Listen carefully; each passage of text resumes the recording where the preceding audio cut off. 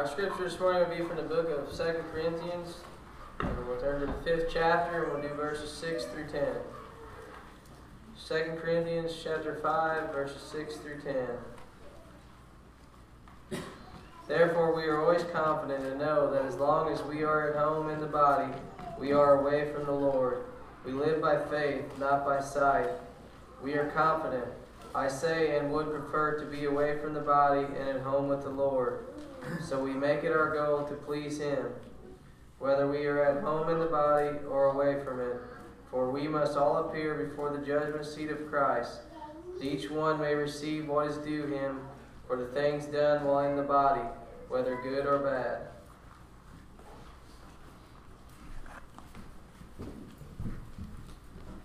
Good morning, church. Good to see everyone this morning. It looks like we have a lot back from uh, our Memorial Day uh, vacations, festivities, or whatever it may be. I know several were out of town, so I see a lot of you back, and it's always good. Uh, it's always good to be back. I know it's always good to be back home after you've after you've been away, uh, regardless. I do want to make one uh, quick clarification uh, before we go any further. Um, with Gloria, I believe um, it is better to visit her earlier in the day. Is that still correct, Debbie and Dan? Uh, visit her earlier in the day, um, just because at, night it's not as good. So if you can do that, and if uh, if you work uh, during the week, uh, maybe make it a point to, to go see her on a Saturday or, or a Sunday uh, when, uh, when that's more available for you. So, so let's make sure that we do that as well.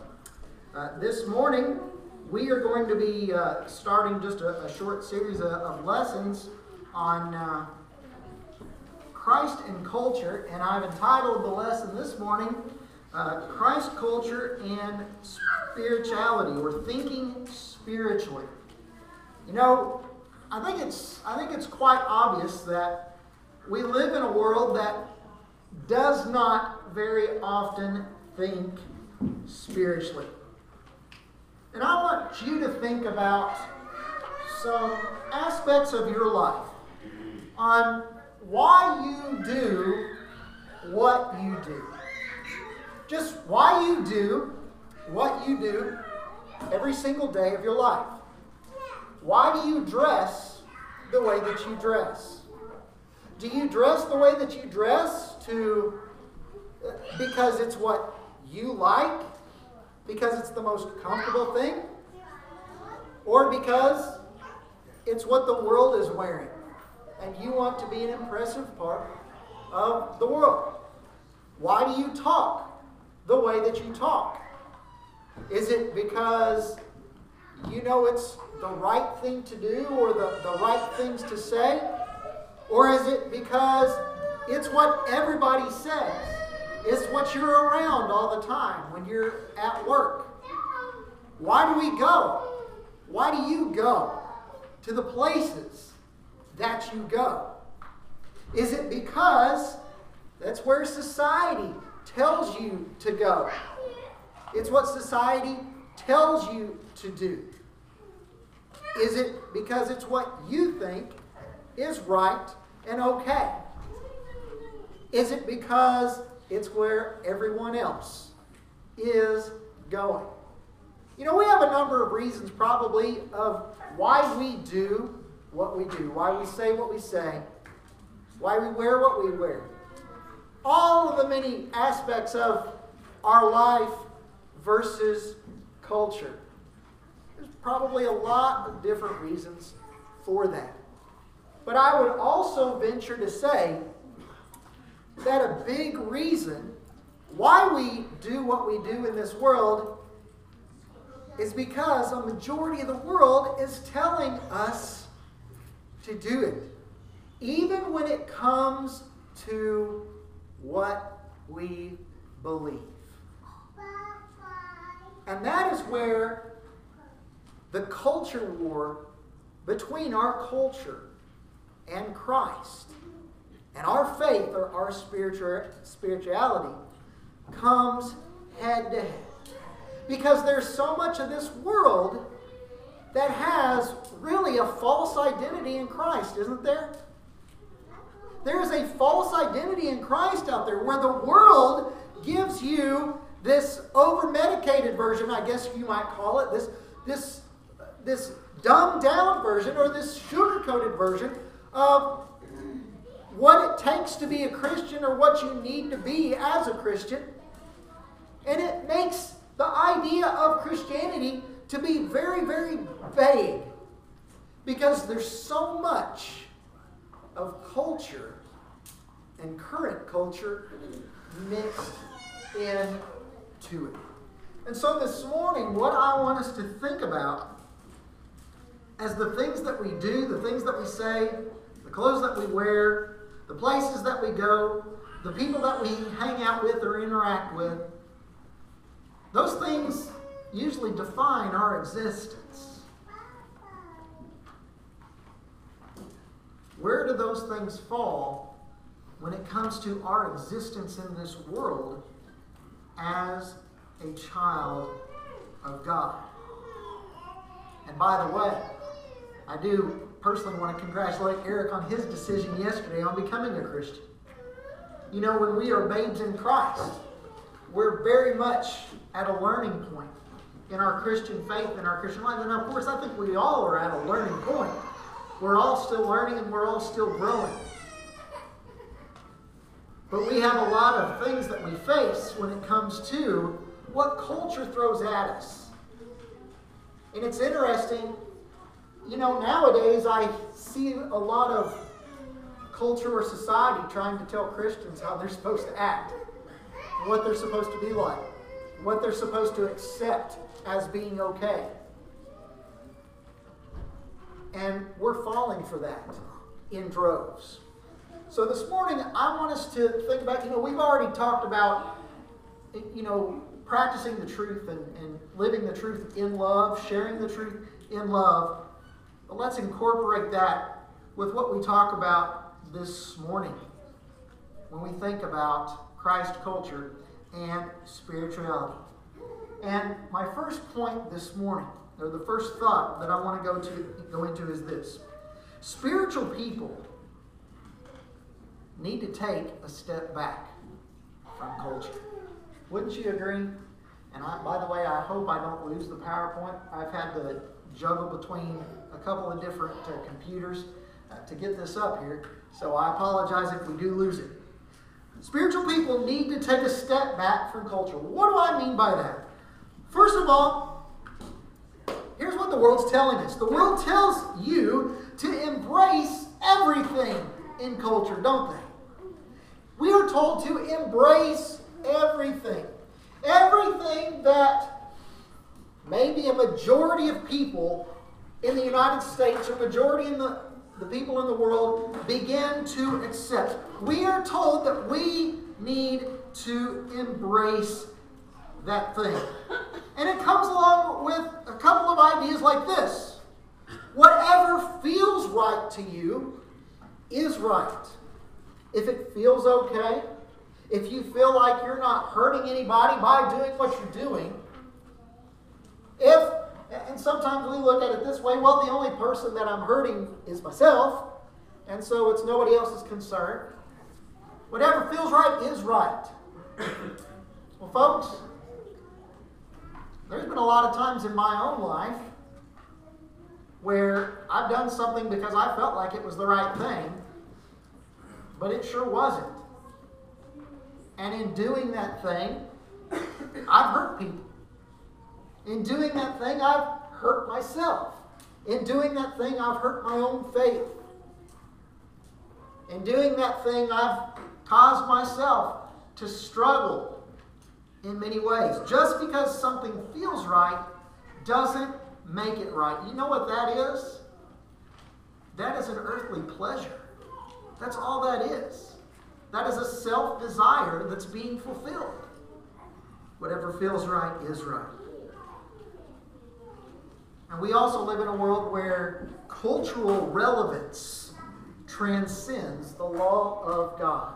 How many people do we know today in our world that look at the Bible and say, a book that was written 2,000 or more years ago is no longer relevant.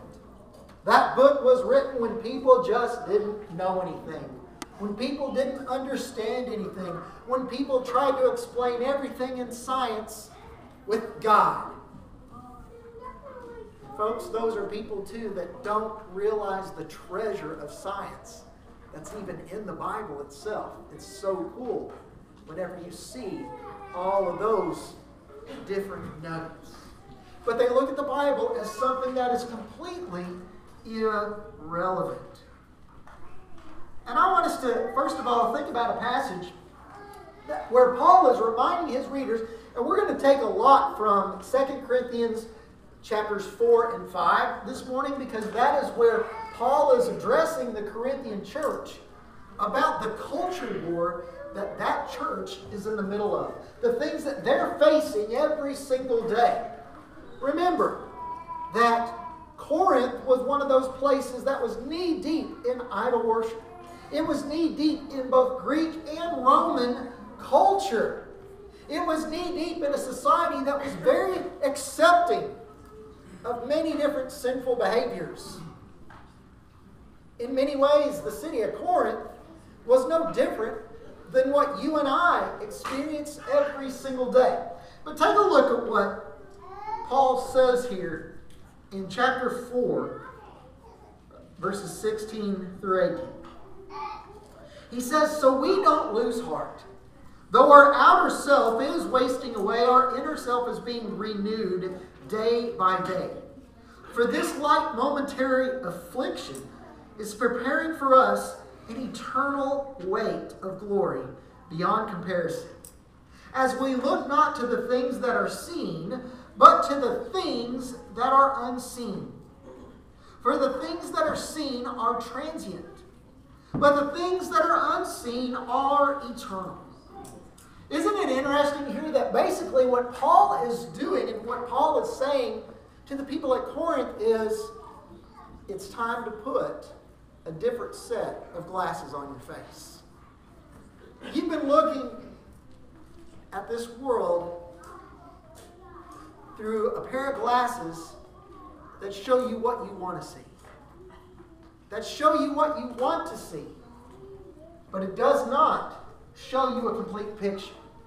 It doesn't show you everything that is there. All you can see through the glasses that you're looking at through the world is the world, is worldly things. You can't see anything past that. You can't see anything beyond that.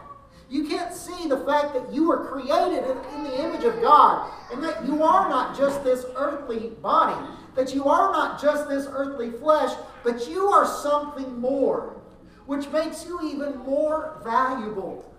You are a spirit, and that spirit is eternal And that spirit being eternal can have an eternal home. Stop looking. Stop looking through this these momentary glasses that just show a small inkling of your existence. I think that this this passage can very much so apply to ideas or beliefs. You know, a lot of times, and in most cases, the thinking of the people of this world is based on here and now. And when it is based on here and now, it's based on fulfilling your desires right here and now. And Paul's trying to tell the readers here that we constantly need to be renewed. Now, this is not a renewal of, okay, folks, what God wants you to understand is that since culture is constantly changing, you constantly need to change with culture, and so do your beliefs. That's not what Paul is saying. He's saying the complete opposite. He's saying you need constant renewal within your faith. And part of that constant renewal is making sure that you constantly filling your mind with what God wants in your life, not with what the world wants in your life. You need spiritual renewal, not cultural. Take a look at 2 Corinthians 4 verse 2. So that's backing it up several verses. As we think about spiritual renewal and what that means, and what Paul and the Corinthians had to do whenever they accepted Christ, whenever they began to live for Him, here's a good example of what that means. But we have renounced disgraceful, underhanded ways. We've refused to practice cunning or to tamper with God's word. But by the open statement of the truth, we would commend ourselves to everyone's conscience in the sight of God. See what he's saying, what he's saying there? He's saying we're going to denounce the things that are disgraceful, and we're constantly going to do that. We're not going to tamper with the Word of God, ever. We're not going to mess with it. Because that's not the will of God. And that's not living for Christ. That is living for culture. And we can't do that.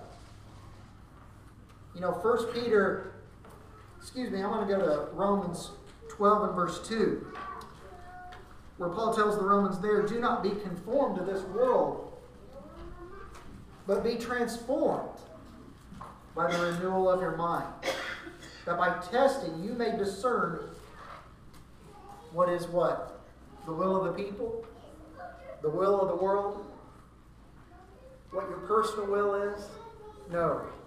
That you may determine what is the will of God. You're to be transformed, meaning you're to look different than the world. You're not supposed to look the exact same as culture. I understand that we live in a world that we like to enjoy things. Um, we, we like to do things in this world. We, we like to experience God's creation. There's nothing wrong with that. But when those things take precedent over living strictly for the Lord, that's where we have a problem. 1 Peter 1 and verse 23 tells us that rebirth, that our rebirth happens by living and abiding in the Word of God. If we're constantly renewing ourselves, if we're constantly renewing our minds, then the Word of God needs to be the source of that renewal.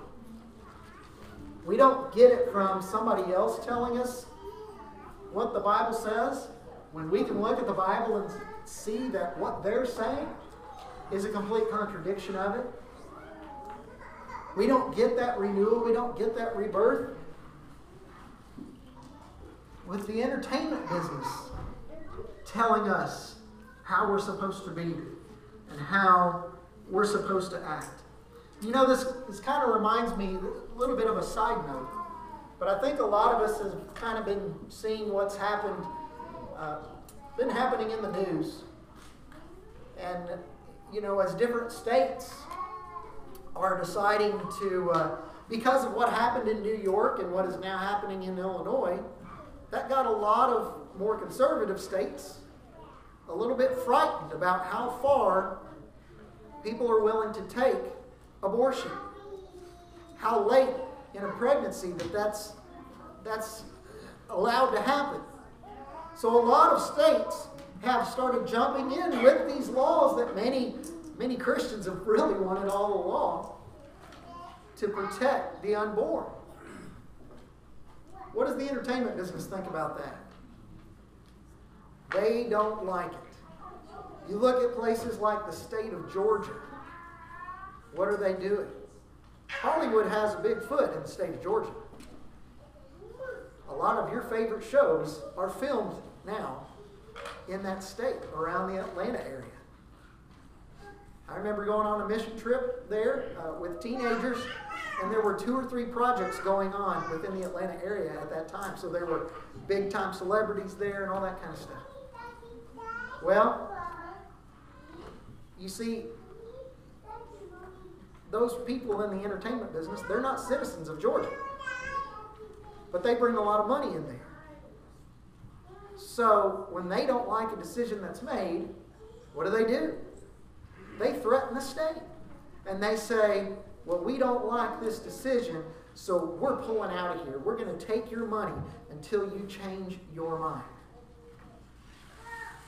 Now, folks, that's on a political level. And I don't like to get political from the pulpit, but I do think that the issue that I just brought up is more of a moral issue than it is political. And so I'll stand by that one all day long. But folks, this is this is happening every single day. This is happening every single day just in our personal lives. Where all over the place, the regular fan of entertainment is being belittled and downplayed if you don't believe the same things.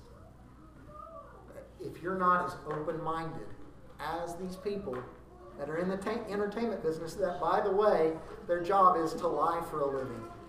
Their job is to be somebody that they're not every single day. And that's not what we're supposed to be. We're supposed to show people exactly who we are every single day. We're supposed to show people that we belong to Christ. We need spiritual renewal. You can't find that in the entertainment business. You find that in God's Word. Secondly, this morning, we need to understand this. Spiritual people should live in tents. Now, am I up here telling you that you need to go sell your house right now, go buy a tent and find a campsite? And live there the rest of your life? Absolutely not. But what do I mean by this spiritually? Spiritual people should live in tents. Folks, this is how you should look at the world. This world is not my home.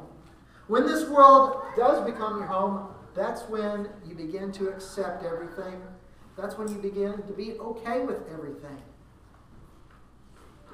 But that's not the way that God would have it. Philippians 3 and verse 20 tells us that our true citizenship is in heaven. And I don't want to skip idea, you know, when we say this world is not your home, I, I bet most of you probably automatically think about the song, don't you?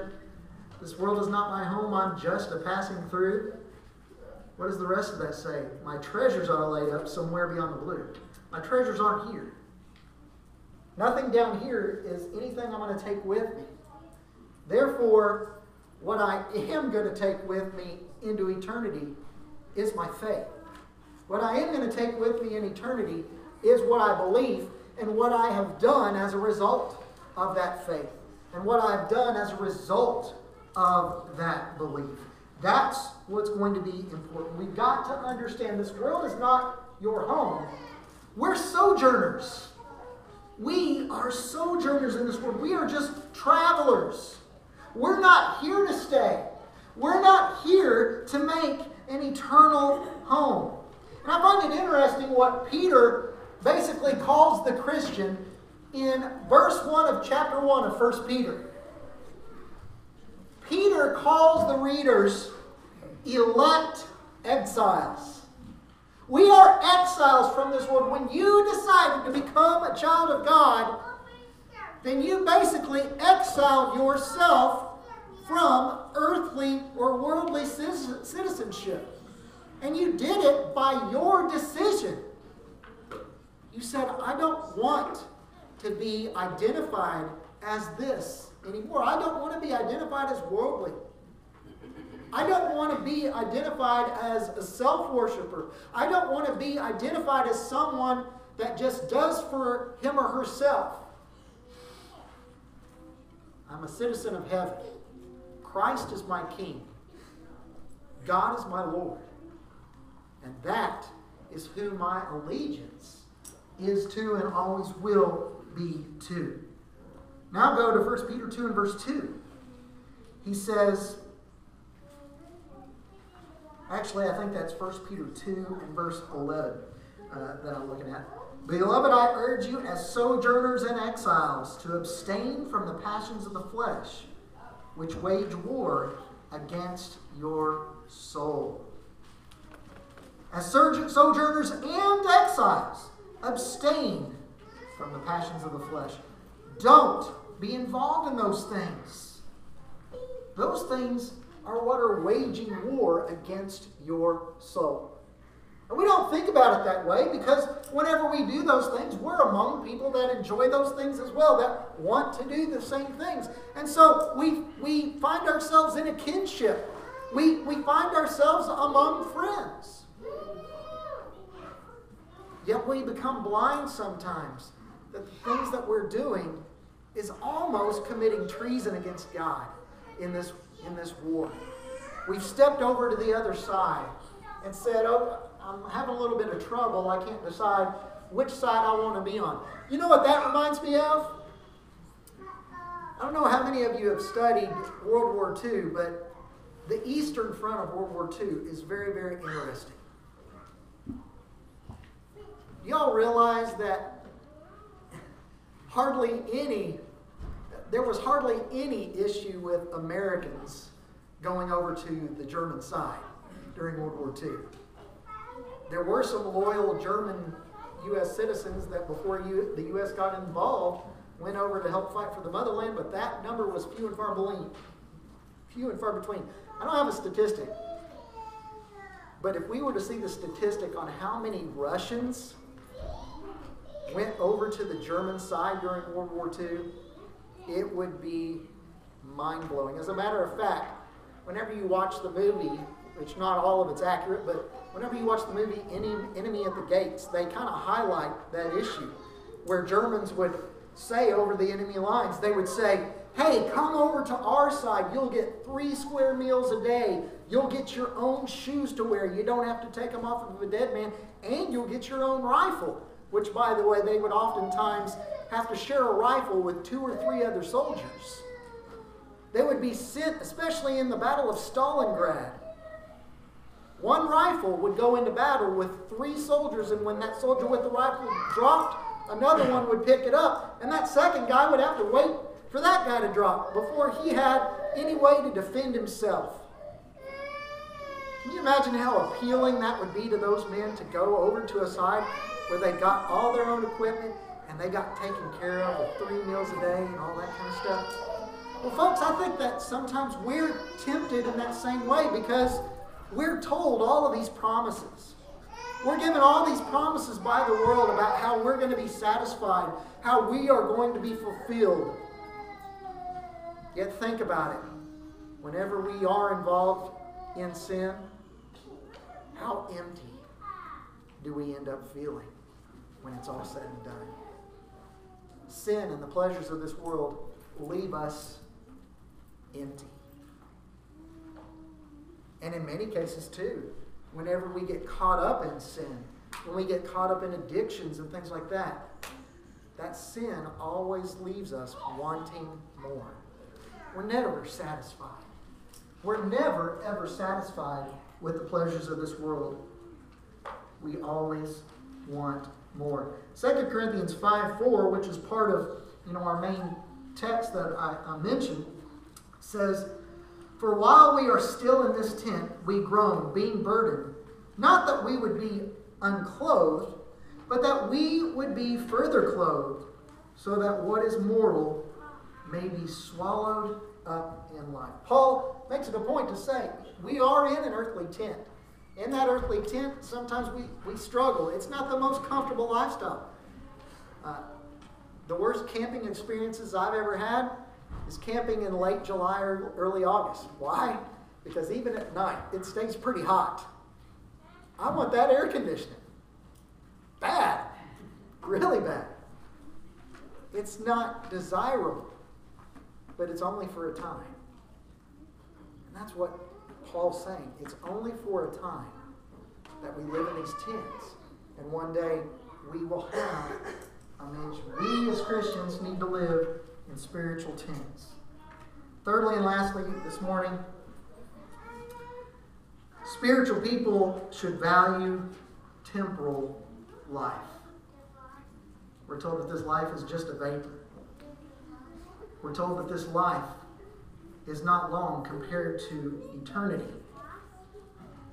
But the life that you live is of the utmost importance, and it's so valuable. Our physical life, first of all, should consist of spiritual living. Our physical life should consist of personal spiritual living. 2 Corinthians 5 7 tells us, For we walk by faith, not by sight. Don't walk according to the flesh. Don't walk according to what you see and hear in this world and what the world tells you to do. But walk by faith, knowing that we're given some promises here of things that we cannot see. But these promises are greater than anything we could ever imagine on this earth. And they're not false promises like the world tries to give each and every one of us. We've got to walk by faith. Second, 2 Corinthians 5 and verse 10.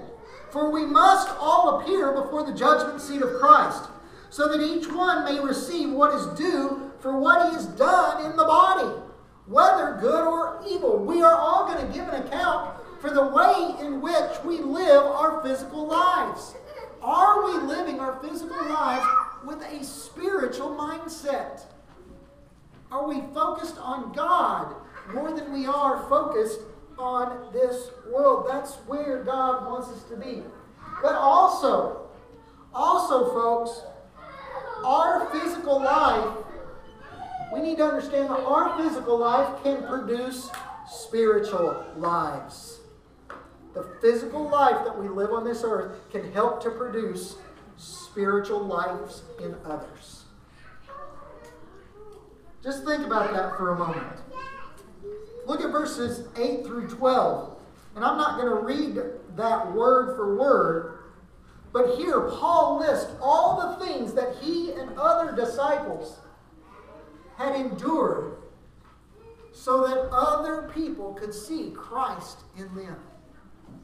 Paul and these other disciples, these others that went along with him, gave up so many pleasures, so many desires in their life they sacrificed so much so that so much of the world could hear the truth of the gospel, so that so much of the world could have the opportunity to be saved. And we have that same opportunity. Verse 15, he lets the readers know that he did all of this for their sake. He did it for them. He did it because he knew that they could enjoy the same eternity that he would one day enjoy as well. You know, whenever you go to 1 Corinthians 4 and verse 16, Paul there tells them, you know, imitate me. Be, imi- be imitators of me. And he would say in other places, be imitators of me as I imitate Christ. Imitate me as, as I live spiritually. And that's, that's what we need to be too. We need to be people that others can imitate. There's a lot of people in this world that are visual learners. We've always heard that phrase that you might be the first Bible that they ever see. And I think that's true. I hope it's not the only Bible that they ever see. I hope that they can actually open up the world, Word, and by looking at you, they ask questions say, I need to know more about this. I don't understand why this person is living the way that they are. Why are they so selfless? Why are they living so self sacrificially? Why are they uh, focused on living for God and not for them, themselves? Why aren't they just enjoying life, doing whatever they want to do? What is it that they see that is so much greater? We can help people start to ask those questions, and maybe we can even help them answer those questions. Hopefully, we can live lives that other people can imitate. Folks, basically, what I want us to get out of this this morning is that we need to keep spiritual things the main focus in our lives. If we're not thinking spiritually, then the honest truth is that we will have a hard time on Judgment Day. Because when the record book of your life is pulled out and God sees how you've lived your life, and He sees that you haven't lived for Him, but you've just lived your life how you want on this earth, that's not what God had asked for from you. So this morning, I have a couple of questions. Have you spiritually been born again? Born again? Have you been baptized into Christ for the remission of your sins, repenting of your sins, confessing His name, proclaiming to everyone that He is your Lord and your Savior? Are you here this morning? Are you renewing yourself constantly against the temptation of culture? Are you constantly going through spiritual renewal? Thirdly, are you introducing physical friends to a spiritual eternity? Those are three questions that I want you to think about this morning. And if you've answered no to any of those questions, I want you to consider a change this morning in your life. To do something different, to be something different. Become a child of God, or renew your commitment to Christ, or get out there and start showing people the light of the gospel. 2 Corinthians 5 9 says, Whether away from our body or at home, we make it our aim to please Him. Will you please Him this morning as we together stand as we sing? Marvelous grace of